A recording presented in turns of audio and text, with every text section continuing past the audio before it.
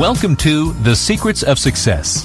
By following the proven techniques of the guests who appear on this series, you'll learn that even successful people run into detours and failures, and how you can apply their success techniques to change your life. You're now listening to the most unique show on radio, the show dedicated to making you a success.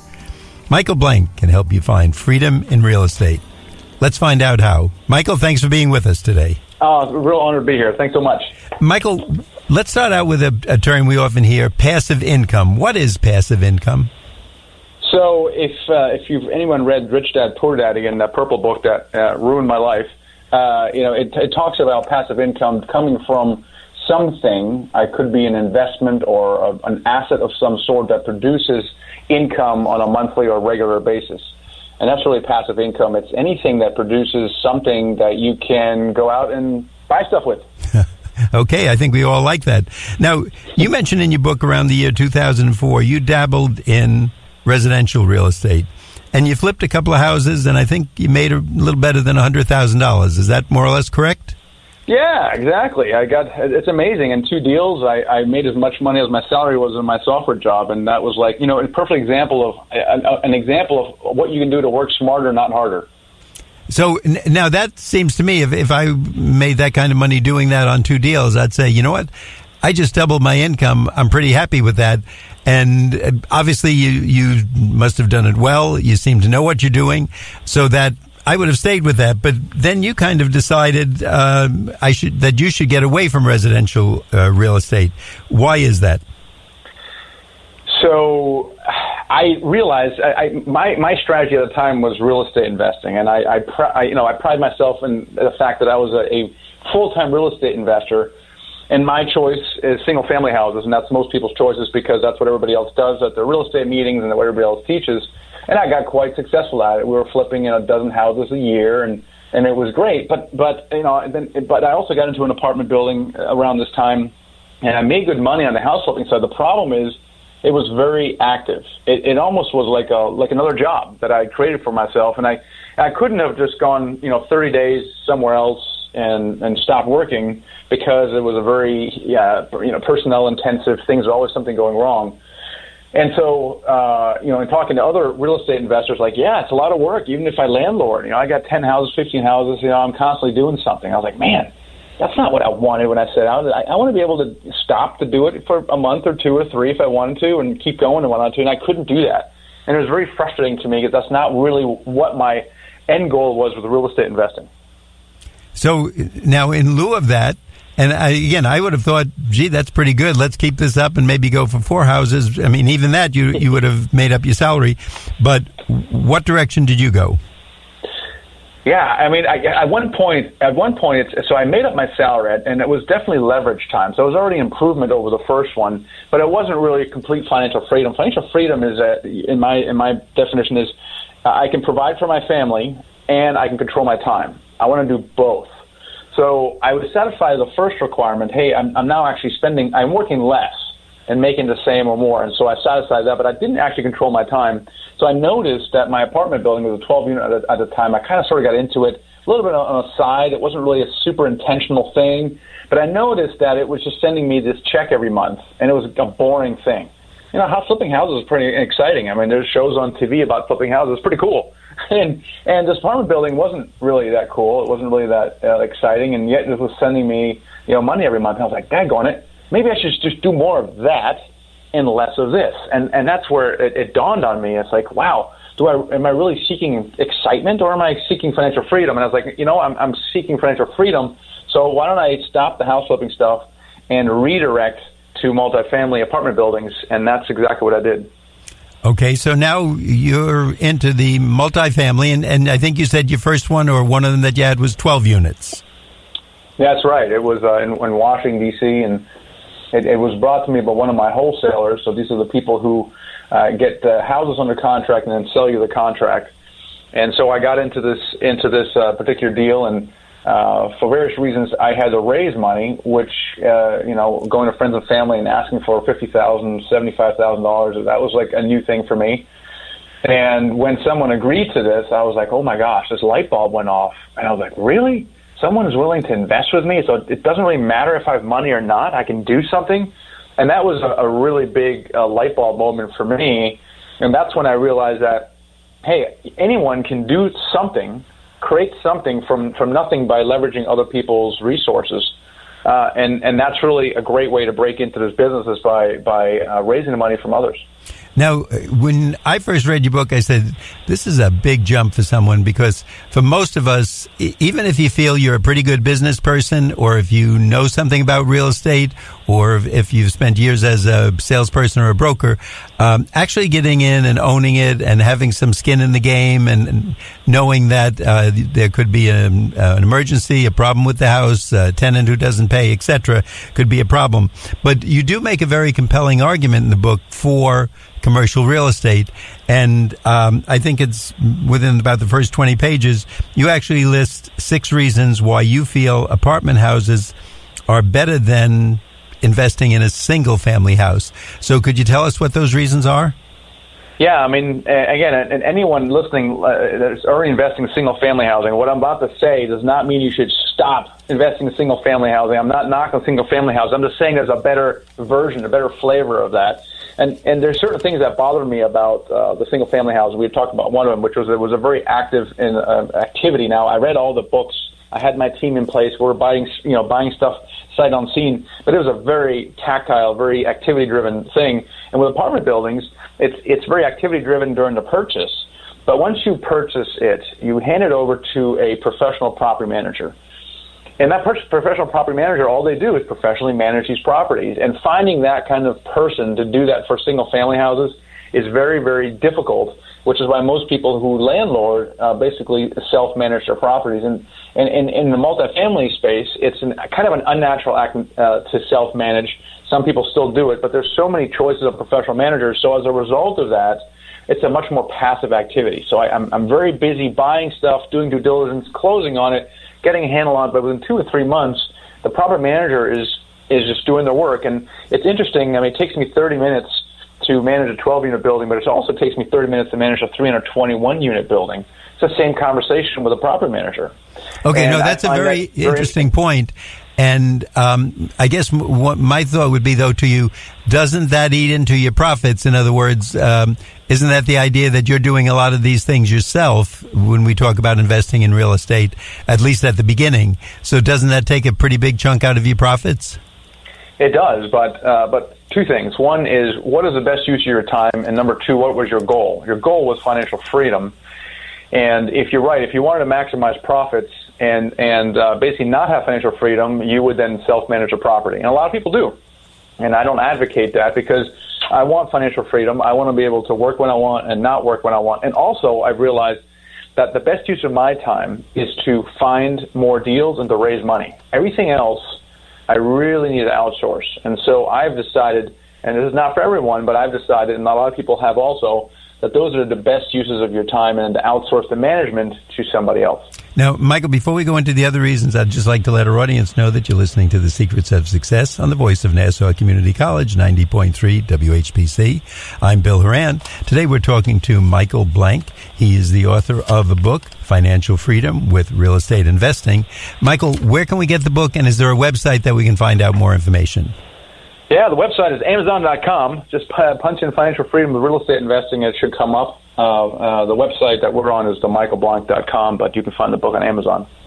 Now, one of the things I would think right off the bat that if if I go for a house, I'm thinking of the typical mortgage, and uh, let's say a number for a house would be four hundred thousand dollars, and you can usually say eighty percent of that is a mortgage, so you'd need about eighty thousand dollars.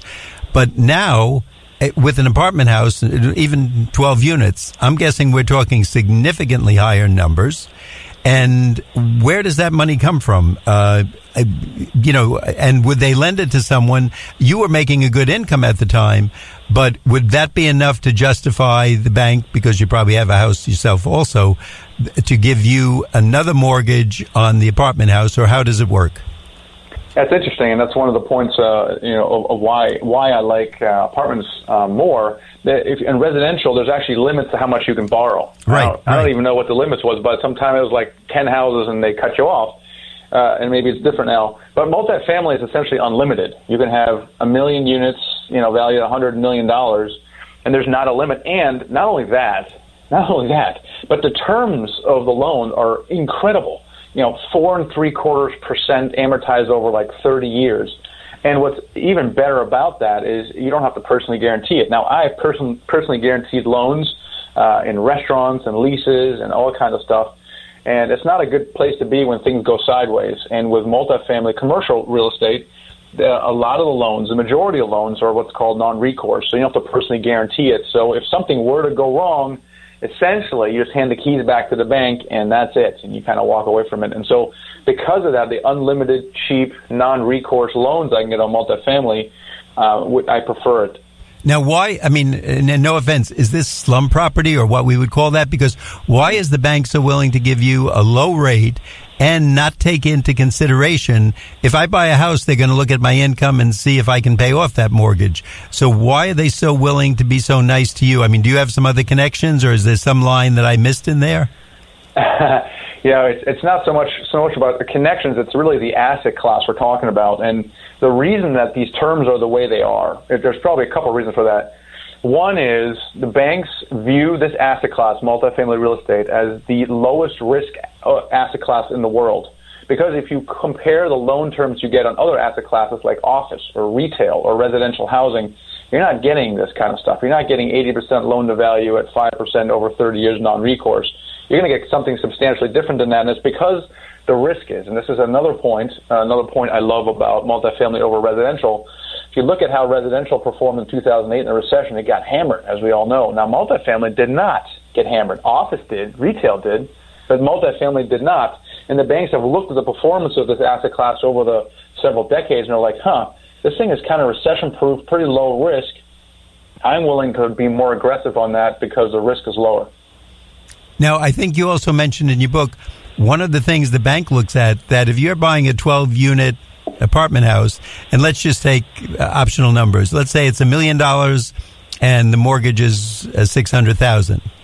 They're looking to see if the rents from the apartments will pay that mortgage. Did I read that correctly? Yeah, that's right. They look at the property uh, and not so much on you. Now, there are some requirements of you as a borrower for, for that but they're not going to look at your income and your W two income. They could care less. They're looking at the property itself. They're looking at the income. They're looking at the expenses. They're looking at the debt service, the, the mortgage payment, and the ratios there, because it's basically what you're doing is you're buying a business that's going to be professionally managed by a, a, a property manager, and um, and that's what they're looking at. They're looking at the numbers of the of the property itself. So it doesn't matter. I mean, to be honest, I guess even if I had, uh, you had obviously a very good job at that time paying $100,000 or so, but even if the job was significantly less, if I picked the right apartment house and if the income from those apartments would generate enough to, uh, within, you know, certain uh, percentages, I guess, to pay the mortgage, I could get that mortgage. Is that what you're saying? Right. That's right. I'm oversimplifying a little bit because in the residential, it's basically all you and your income. On on the multifamily side, there the majority of it is the property. Now, you as a borrower are still important. It's not like you don't exist. They're still going to look at your income. They're still going to look at your credit score. They're going to look at your net worth. The most important thing is from a borrower is that you have a net worth equal to or greater than the loan balance. Now, some people who are getting into these larger deals are scratching and going, "Okay, Michael, that's great. I don't have a net worth of six hundred thousand dollars or two million dollars." And that's where we really get into you know partnering with other people. So where we're in the realm of think about more of partnering, joint venturing with people. Even when you're raising money, you're essentially partnering with people, and this is a very entrepreneurial business because you get into the world of joint venturing not only with uh, with passive investors on a one hand, but you might have another partner, like a literal like a general partner. So imagine getting together with someone else who's a high net worth individual and all they're doing is they're flashing their bank statements to satisfy that that requirement. Or maybe you part you bring a deal, you pay, bring it to someone more experienced to qualify for the for the loan. And that's really the power of this business is that we as entrepreneurs, what we love to do is we love to create something out of nothing. And this is an example of that. The good news here is a lot of people have come before us that have already showed us the way. Michael, we want to learn more because you, are getting me excited about this now and you're overcoming some of my objections. But at this point, I want to remind our listeners that you're listening to The Secrets of Success on the voice of Nassau Community College, 90.3 WHPC. Today we're talking to Michael Blank. I'm your host, Bill Horan, and we'll be right back after this brief intermission. As a way to give back to the community, Blue Ocean Wealth Solutions, a member of the Mass Mutual Financial Group located in East Hills, is offering conference room space to community groups at no charge. Businesses, nonprofit groups, and organizations in the community are welcome to utilize this space for meeting needs. The room can seat up to 54 classroom style, working groups, or trade show style. Some features include free Wi Fi, a projection system with screens throughout the room, and on site catering. The room is available from 8 a.m. to 6 p.m. on weekdays. Blue Ocean believes in changing lives, and by offering this space, they're helping community groups that may not be able to afford traditional outsourced space. For more information or to book the room, you may contact Tracy Bianco, Marketing Director, at 516 686 7173 or email tbianco at financialguide.com.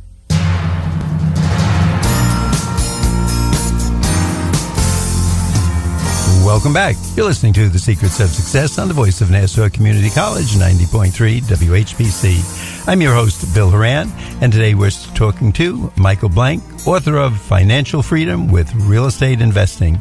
Michael, you were uh, kind of tempting us now because you're indicating that this could getting a multifamily property, mainly I guess what we would call an apartment house for four units, twelve, maybe more, um, can be less work and financially much more rewarding. Um, are there any tax benefits that would go along with that?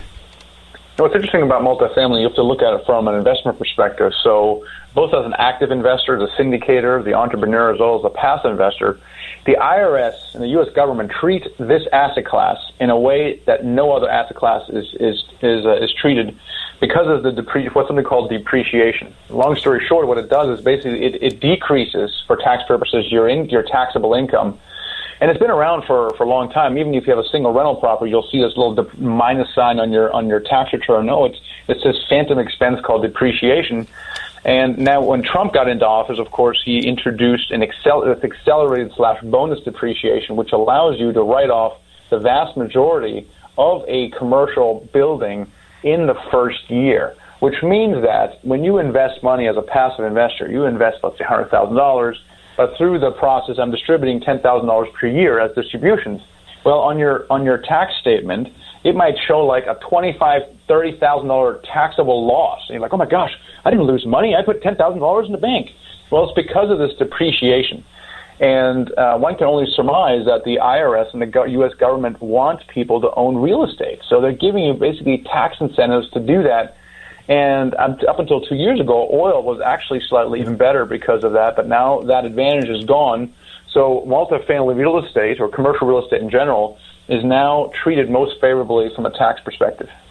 And by the way, and I got the impression from your book, and um, I'm not trying to put you on the spot, but this is all by the book within the law, very legitimate. This is none of that hanky panky that, uh, oh, you get a friendly banker who looks the other way or um, uh, an appraiser who will double the value.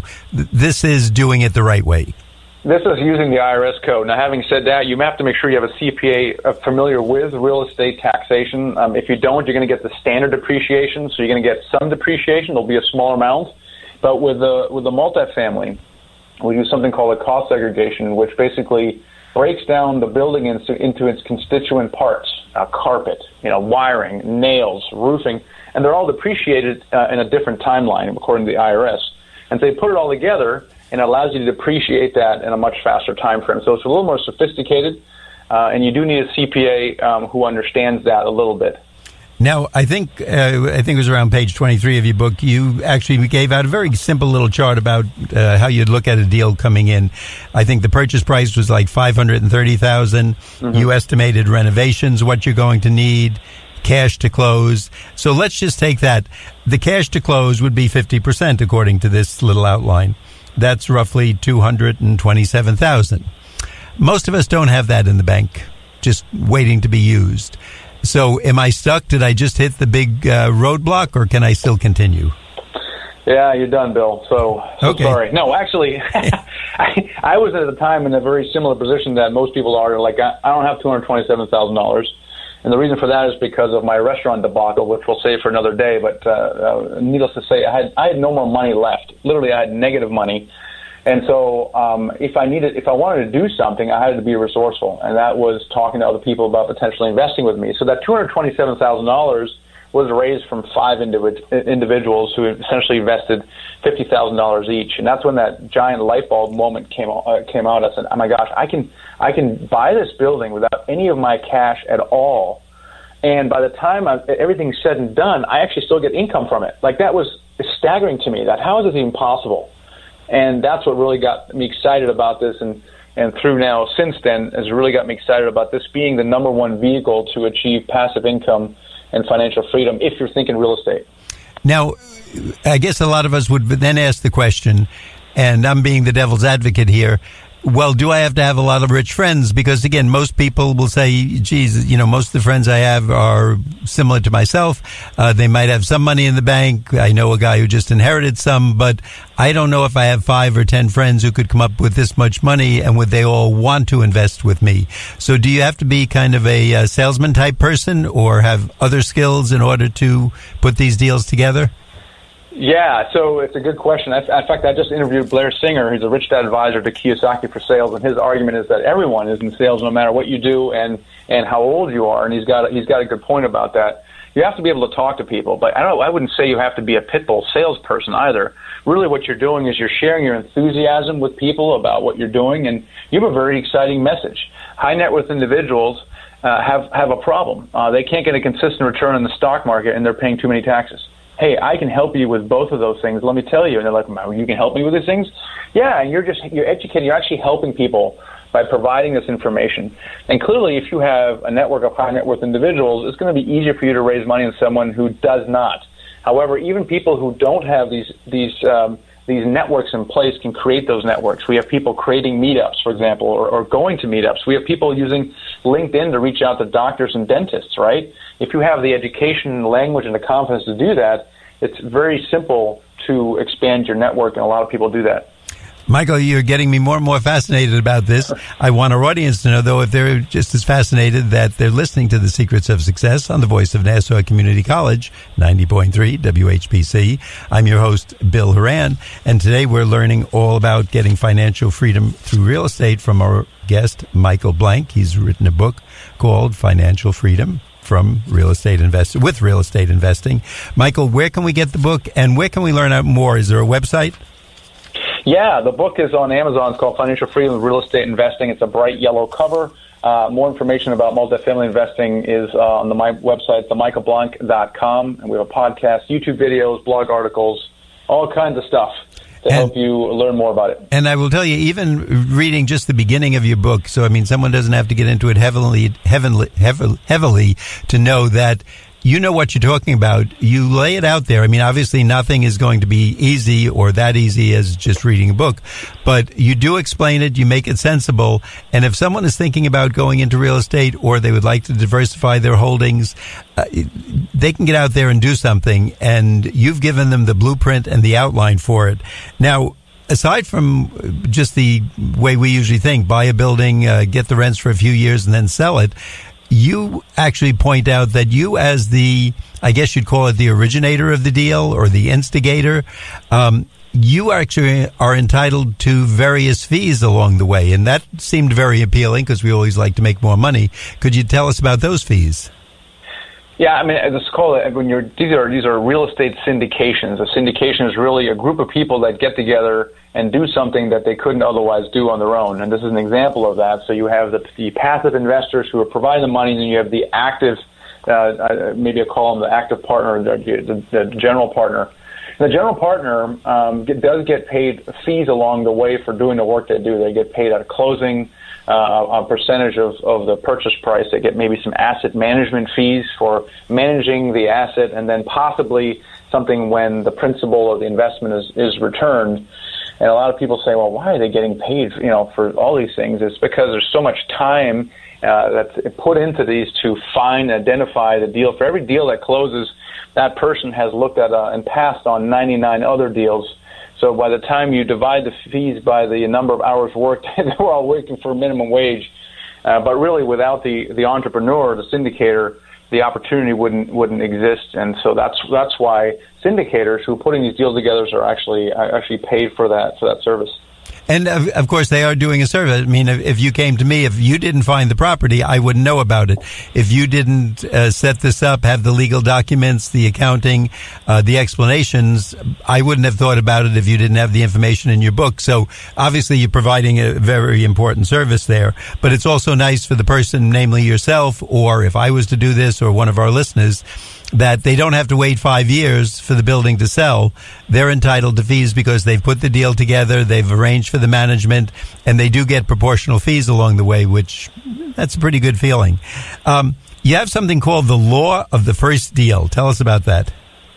This is a, such a powerful, powerful phenomenon. What I've what I've noticed is that this first there's something magical about the first deal. Now we all know the first deal is it's it's it's the hardest it's the it takes the longest and is the smallest. But what happens after that first deal is the second accelerates, the second and third accelerate, uh, and they grows larger.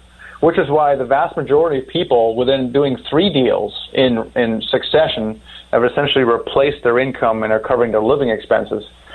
And um, there's a variety of reasons for that. I'm just describing a phenomenon. And so looking at this phenomenon over, and I have some in the book, but I've, I've since then interviewed you know dozens of people on the podcast where the phenomenon is so strong that that I can boil down this this this, this overwhelming goal of financial freedom into just one thing, which is your first deal.